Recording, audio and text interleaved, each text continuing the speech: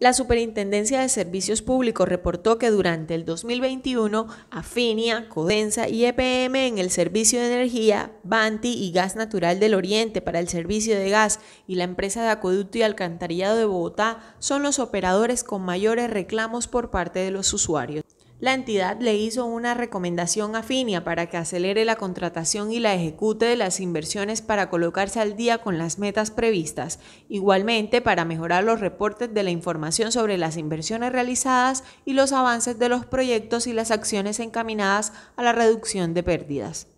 Asimismo, se informó que la principal inconformidad de los usuarios de dichas empresas están relacionadas con la medición del consumo, cobros inoportunos o cobros por reconexión. El reporte de la entidad indicó que el servicio de energía eléctrica fue el que obtuvo mayores reclamos por parte de los usuarios con casi 110 mil trámites y solicitudes.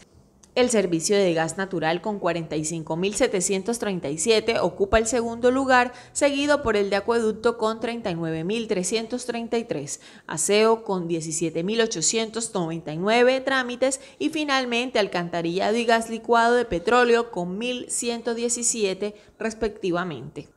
Del total de trámites y solicitudes recibidas por la Superservicios, 117.362 son peticiones, quejas y reclamos, 95.395 recursos de apelación y 21.114 recursos de reposición de queja y revocatorias. 21.693 corresponden a solicitudes de reconocimiento de silencio administrativo positivo y 16.646 fueron solicitudes de asesoría o atención personalizada, concluyó la entidad.